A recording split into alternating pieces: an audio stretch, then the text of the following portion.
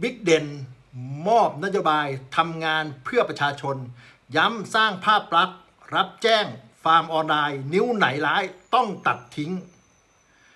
บิ๊กเด่นมอบนโยบายถึงตำรวจทั่วประเทศ เน้นป้องกันสถาบัน ชูวิสัยทัศน์ เป็นตำรวจมืออาชีพ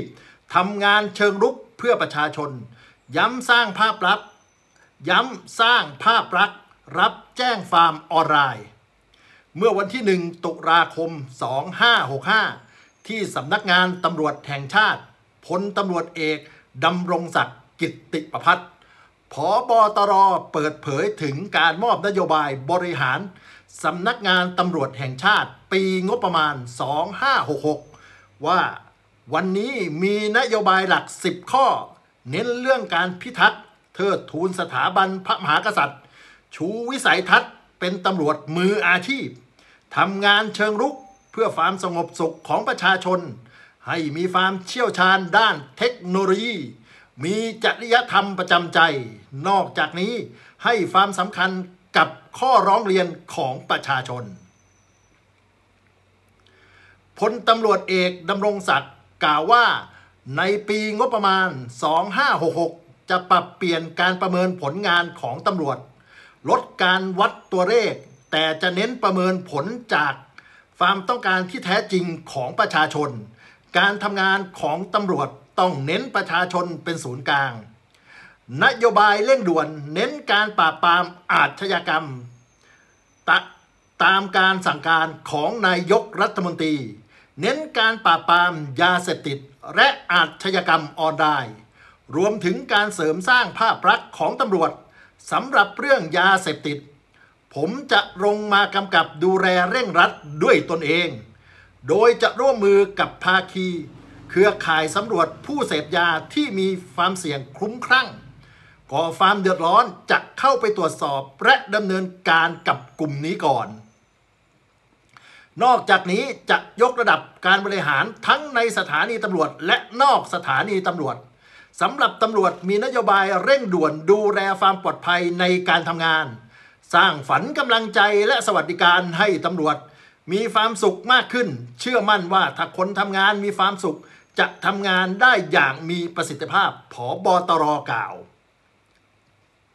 เมื่อถามว่าปัจจุบันประชาชนไม่เชื่อมั่นในตำรวจต้องไปร้องทุกข์กับทนายฟาร์ม หรือเพจต่างๆ จะเรียกความเชื่อมั่นอย่างไรพลตำรวจเอกดำรงศักดิ์กล่าวว่า ตอนนี้เปิดรับแจ้งฟาร์มออนไลน์ในคดีออนไลน์ ก็ถือเป็นช่องทางหนึ่งที่ช่วยบริการประชาชน และเร่งยกระดับสถานีตำรวจ ขอให้เชื่อมั่นและขอขอความร่วมมือ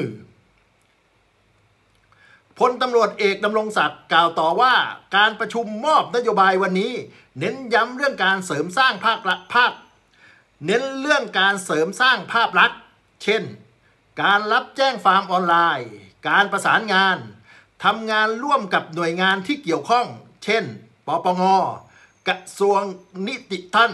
หรือเศรษฐกิจและสังคม กสทช ให้รวดเร็วขึ้น